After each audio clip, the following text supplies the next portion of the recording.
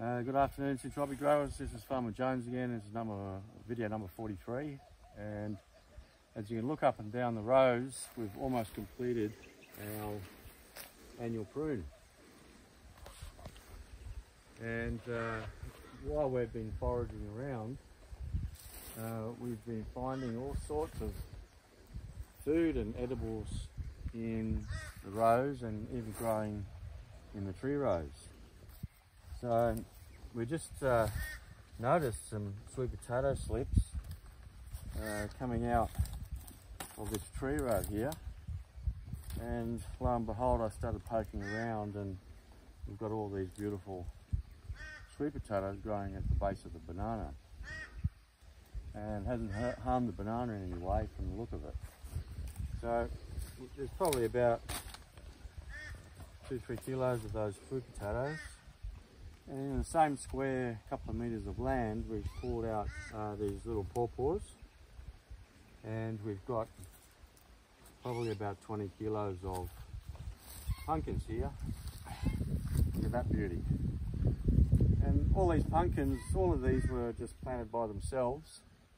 Uh, the pumpkins, we often throw scraps around the trees and obviously there's seeds and they act as mulch, but the seeds take off in the uh, rotten vegetables. Uh, so these, these pumpkins just seeded themselves. And these were obviously from scraps that we threw out.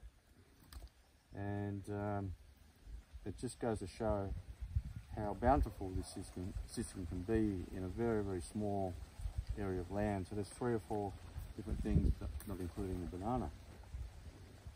So that's the perfect food forest, isn't it? Um, and things, birds, we enjoy passion fruits that the birds plant. And if you just turn around and look behind you, there's a whole heap of passion fruits that we didn't plant. These guys here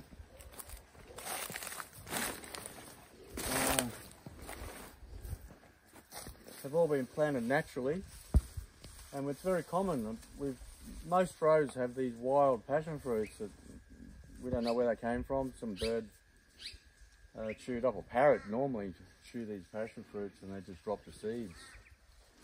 And we have a beautiful hand of bananas up there too. So this is the very definition of uh, a syntropic food forest. You'll find as your system matures that this, it gives so much back to you without with very little effort. So if we were hungry, for example, and you know the supermarket shelves are empty, uh, we feel pretty confident that we could just forage around here and find enough to eat and get us by for a for a while. So so far this is just a 25 by 50 meter plot not including our other plots, but this plot alone could easily feed us if we were pensioners or we weren't working anymore or we became unemployed. Um, this system here could easily feed us. So too many bananas to poke a stick at. There's another hand of bananas just up there. Um, you know, as long as you're not too fussy, you could eat bananas. Uh, the kale's over there. It's still growing. That's last year's kale. And we didn't have to replant this.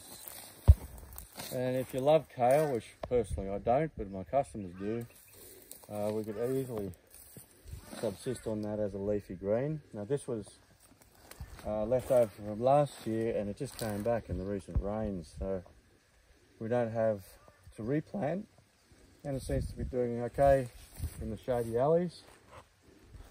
And then a parsley row there too, doing well in the shade. And what's interesting, also these broccoli plants. Uh, if you notice, they were cut off with a whippersnipper uh, last year. So after we harvested, I went through and cut all the stems off and yet these guys are growing back and some of them have even produced heads on them again but this leaf here on the broccoli is very nutritious the Italians taught me that they love to steam these broccoli leaves. And we followed through and they're now one of our favourite greens. So, you know, just looking around, it's just an abundant food system. Look at these beautiful passion here again. These particular variety are yellow. And because we didn't purchase this uh, particular passion fruit and we didn't buy the seed, we, I don't know the name of the variety, sorry, but the birds might be able to tell you. So look at this beautiful passion, they go absolutely nuts climbing up the bananas. So if any of you are uh, in doubt that syntropics can feed humans and fulfill their their basic needs, put them aside because I've visually shown you that uh, the entire system is just a, a, food and timber factory, if you will. And there's no stopping what you can grow down these alleyways, depending on the amount of light that's uh, coming in. So previously, as you know from previous videos, this was very shaded out. And now that we've done our hard trim for the year in winter, in coming into spring, in a couple of months, uh, we may the opportunities to, or maybe opened up to plant um, more things in these alleyways while the light's filtering in. So we expect the system to boom.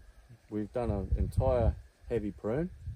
We've reduced all the stems down to three, or banana stems that is, and we've trimmed all of our eucs up and the biomass is looking great. Um, so we expect a good uh, gibberellic acid um, boost and we expect a lot of uh, vigorous growth coming in up in the next few months. So just bear in mind uh, that this system is only two years old. This is exactly, literally two years to the date that we planted our very first rows up the top there. And already uh, not only do we, we um, pull 500 to 800 dollars worth of bananas out of the system a week, uh, but we could easily feed our family. Um, so it's well worth investing in. It's a forever garden. Uh, pretty much you plant once and pick forever. So that's the best kind of garden you can have. So on that note, we'll sign out. Is Farmer Jones for Victory Organic Farm and we'll see you on the next one. Cheers.